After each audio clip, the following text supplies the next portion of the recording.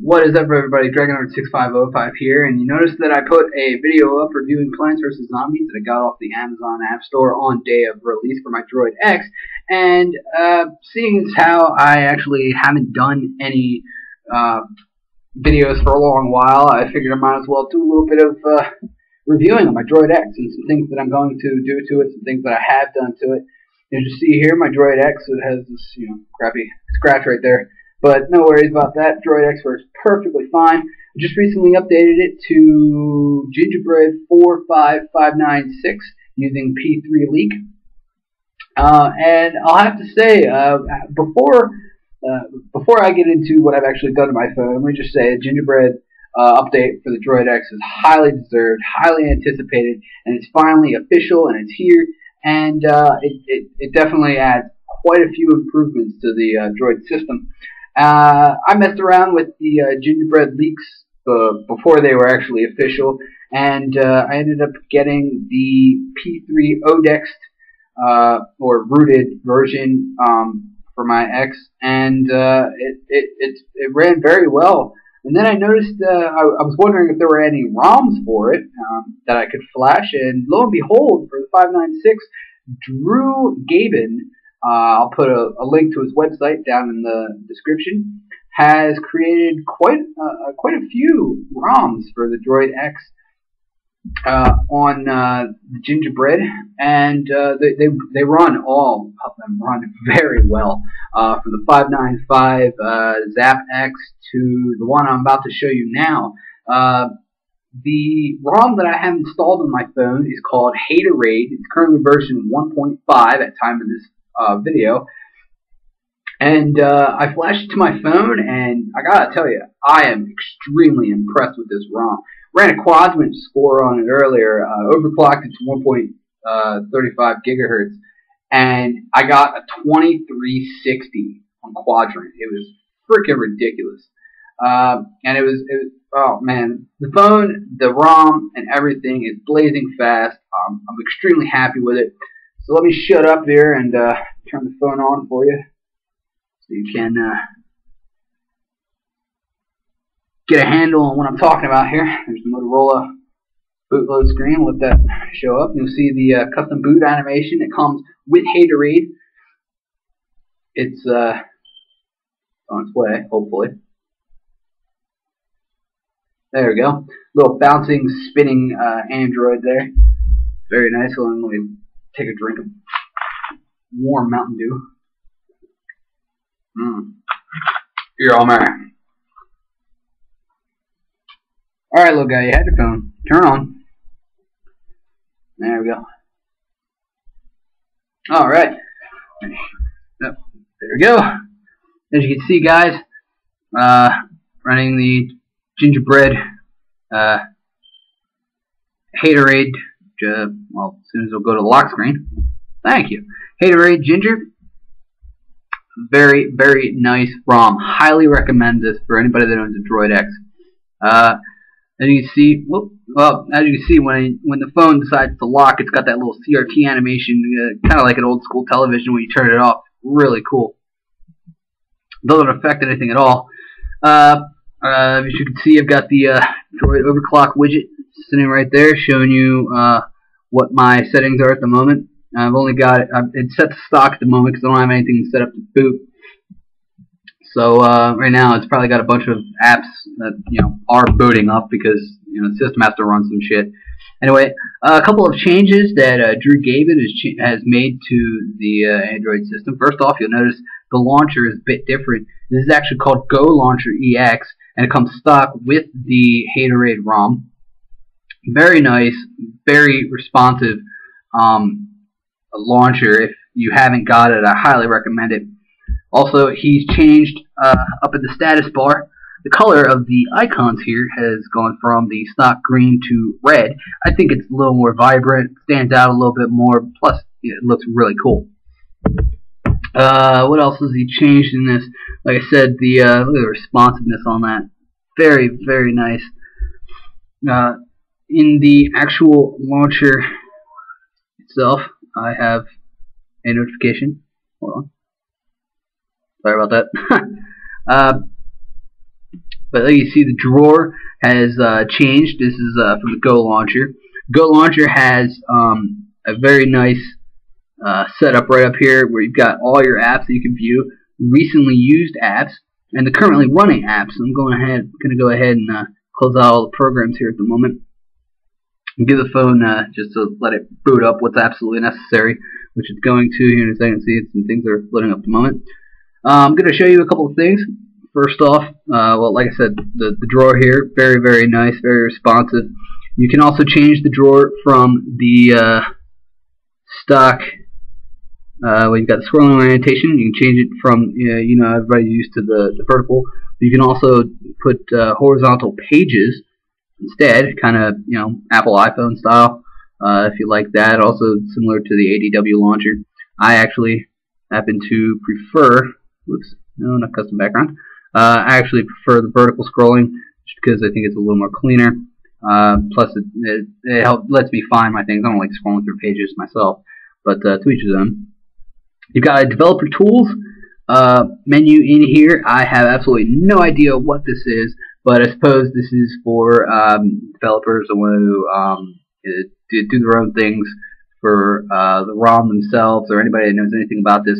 I don't know anything about it. I'm not going to review that. Uh, also, uh, spare parts. If anybody's got uh, a rooted phone, they're familiar with spare parts. It's got all the uh, familiar options in here. Uh, there's quadrant and all that. It also comes stock with the.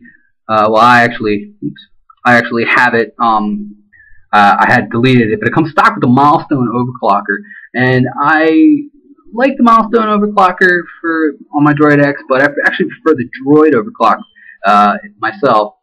It's got quite a few more optimizations. You can see uh, uh, the little drawer that pops up there. You can tell um, what the current frequency is running at. It's not running anything, so it's uh, you know uh, on demand such. Uh, you can set your CPU. I'm going to actually run a uh, quadrant score for you here um, so that you get a gist of, uh, well, let me first, uh, where it go? There it is. Uh, let me first um, set the frequency to performance.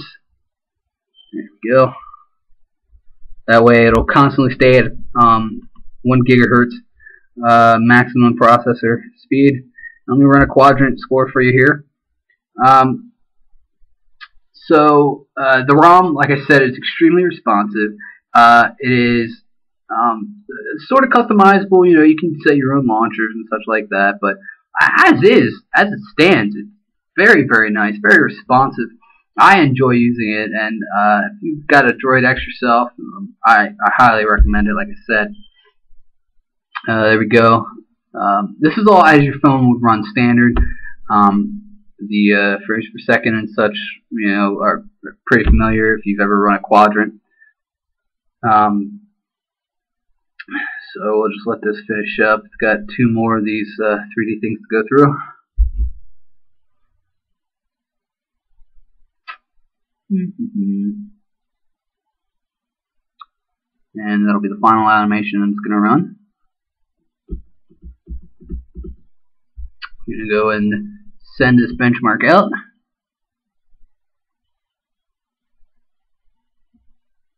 And there we go, running at a 1698 quadrant score right now, which is very respectable. Uh, especially, you know, uh, not really running anything. So I'm going to go ahead, uh, here and overclock it. And I'm going to turn it up quite a bit.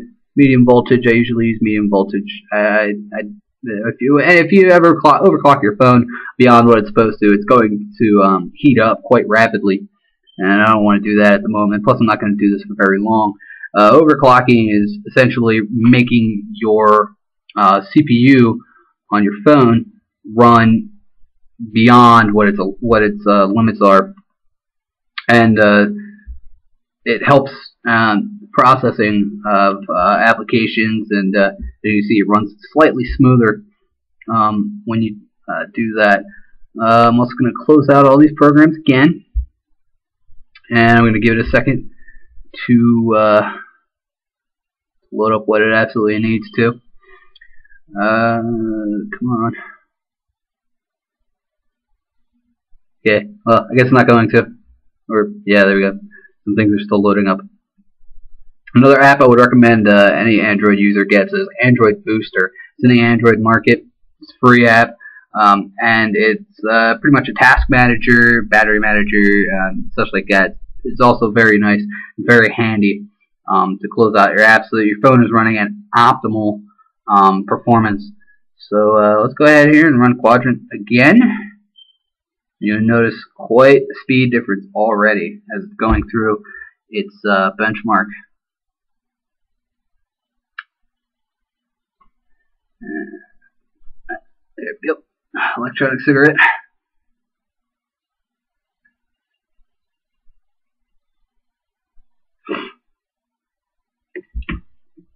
And there you can see the animations are running uh, quite a bit faster. There's the uh, the 3D, uh, I guess Quake level style um, uh, test that's running there. And the uh, little planets going around. For some odd reason, I have absolutely no idea why. My LG Ally actually runs that animation better than my Droid does. I have, I have no idea why. I'll probably end up getting a into a review of what I've done to my LG Ally compared to my Droid X. But that's another video. Alright, let's send that out. And I got a 2001 right there. Uh, which is probably because it was um, booting up a few other applications. Yeah, see, there you go. Yeah. Close that out. Um, some things probably running in the background. Uh, actually, let me go ahead here and pop open Android Booster. Uh, actually, memory not that bad. But I'm going to optimize here. Okay. And one more time, going to run another quadrant benchmark. And we will see what happens this round. Should be higher, uh, I hope. If not, it's going to be fail. but as you can see, guys, the uh, the ROM and the phone runs very fast, very nice. The interface is uh, just perfect. It's very responsive. Uh, if you haven't got a Droid X, I highly, it's a highly recommendable phone. Uh, maybe more for the advanced Android users. Uh, I, I, actually didn't start out on uh, the Droid X. I started out with the uh, Samsung Intercept, which is still a, decent phone. And then I bumped it up to my LG Ally, and then to my Droid X. And since I've started using the Android system, I can't go and use any other phone. I've tried using a couple of flip phones, and I just get retarded on it. I'm like, what the hell is this thing? Um, my girlfriend's actually got a slider phone, kind of similar to a BlackBerry, and uh, I, I, I wow.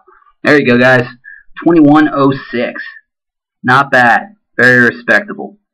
Um, as you can see, compared to the other scores, um, it's very nice, very responsive, snappy interface, snappy um, control, and everything like that. There you go, guys. My, uh, as of yet, uh, first review of Hateraid 1.5 on YouTube. I hope you guys have enjoyed get it yourself. I'll put a link in the description to um, to the website where you can download this ROM. Hope you guys have a nice day.